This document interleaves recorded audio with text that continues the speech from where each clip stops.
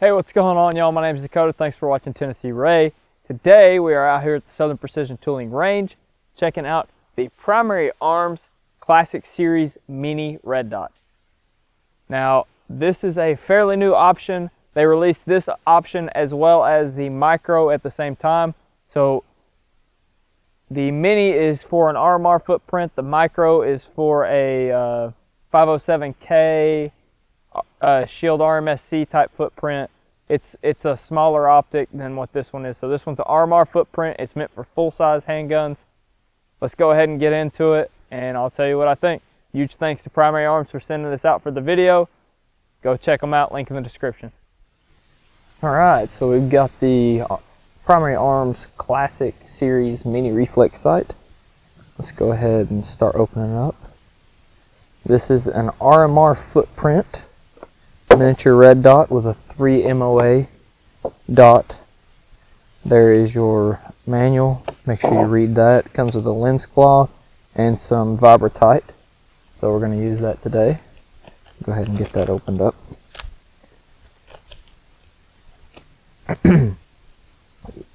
Out of the box you have a optic cover. It's a little rubber optic cover. A lot of optics come with that nowadays. And it comes mounted to a Picatinny mount out of the box. So like I said, it's a 3 MOA dot. I'm going to see if I can find the dot here in the camera. Probably not going to be able to. Anyways, we'll find that later. That'll be part of the video later. Uh, I don't know if you can see right now, but it's snowing just a little bit in East Tennessee right now. Um, you've got an extra set of screws here, mounting screws, and then the Allen wrenches for both the screws and for the adjustment here on the top and on the side for elevation and windage. So we're going to go ahead. I've got my handy Glock 17 here that's got a little custom work done to it. And it's it's cut for an RMR footprint.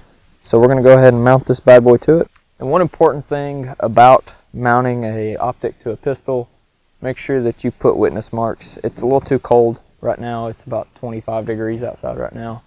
Um, make sure you put witness marks on these screws. Uh, for those of you that don't know, I'll, I'll, explain that a little bit. So if you put a line from the screw, let me see if I can get this camera to focus here. Okay, so put a line on the screw and off into the body. That way you, you've got a straight line of reference where the screw, to, so you know if the screw moves. Do that on both screws and then these might be a little difficult to do for the elevation and windage adjustment because they're an Allen key. It's kind of recessed. But if you have that option, it's always good to do that as well with your elevation and windage adjustment.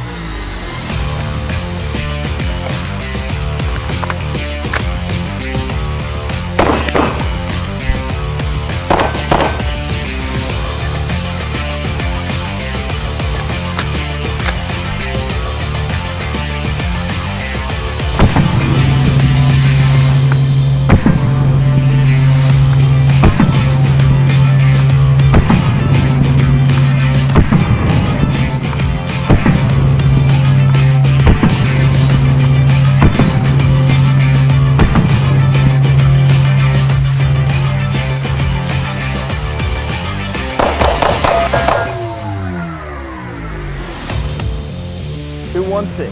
Two one six. Do it again.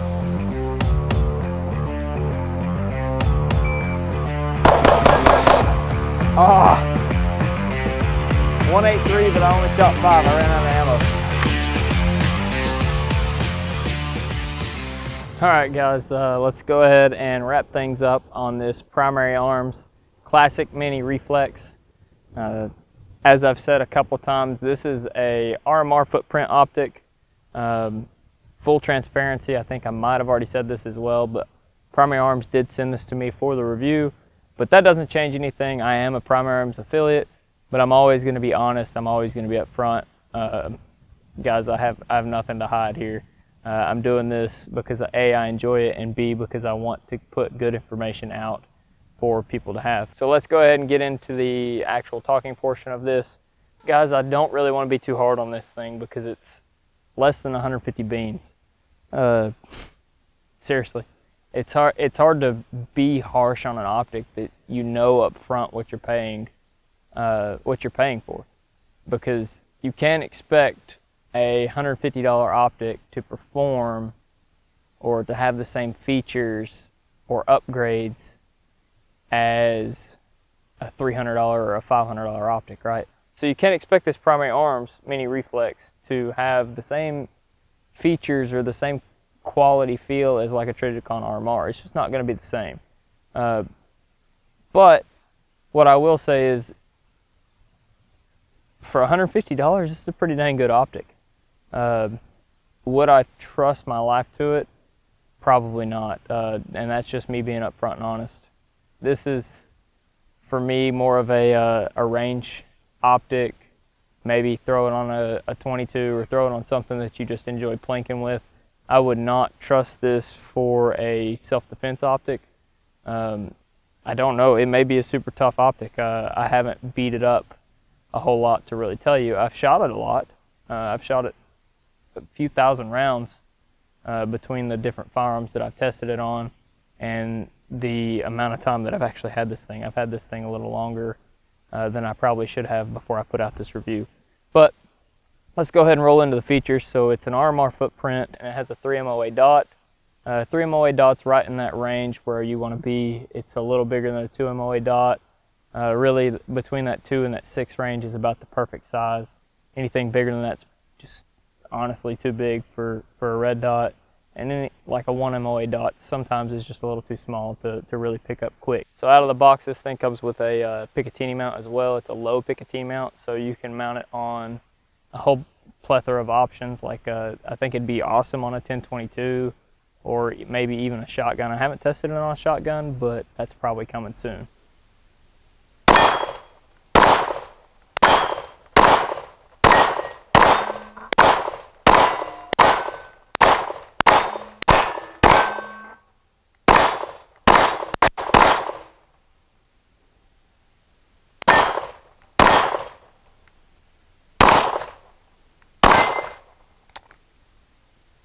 So let's go ahead and talk about the pros.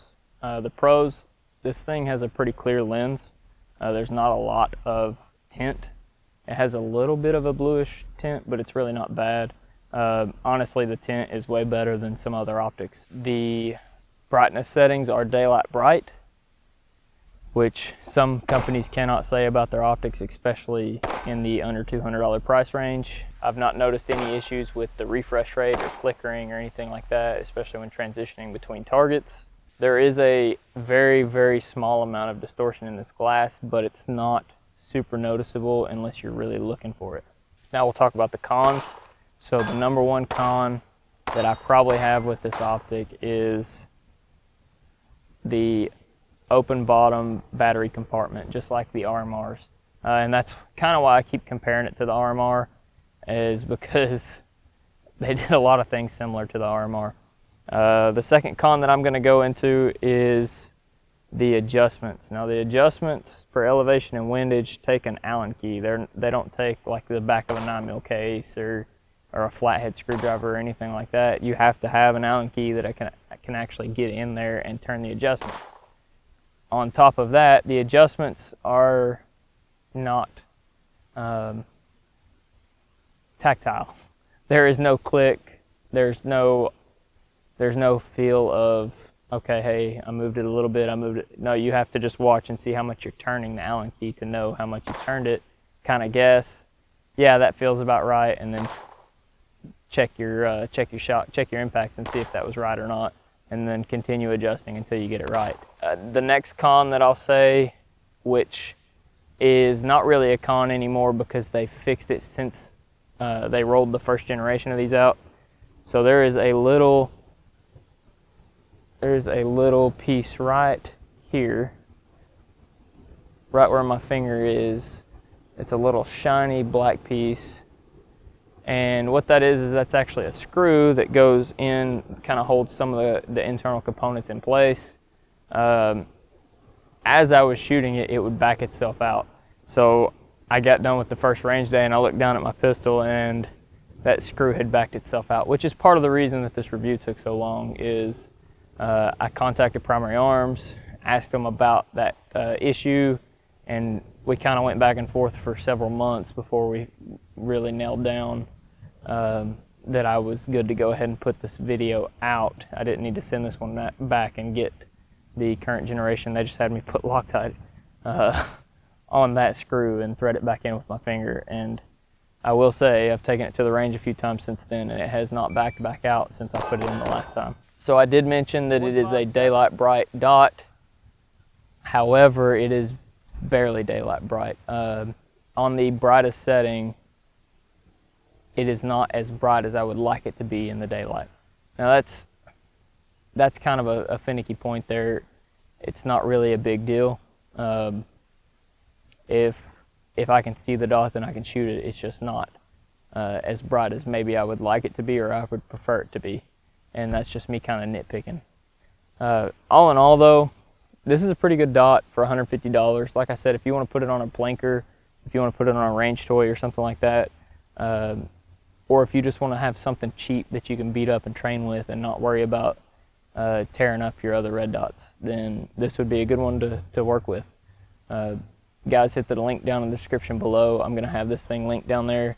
It'll take you directly to the web page. Uh, like I said, I am a Primary Arms affiliate, so if you click on that link and buy anything, you don't have to buy this, but if you buy anything from Primary Arms, uh, after you click on my link, then I will get a kickback. It'll help the channel out. It'll help me keep making content for the future. Um, anyways, like I said, uh, it's a pretty good dot. If you're interested in picking it up, I would check it out to put on a range toy. My name's Dakota. I appreciate you guys watching. Make yourself better today. God bless.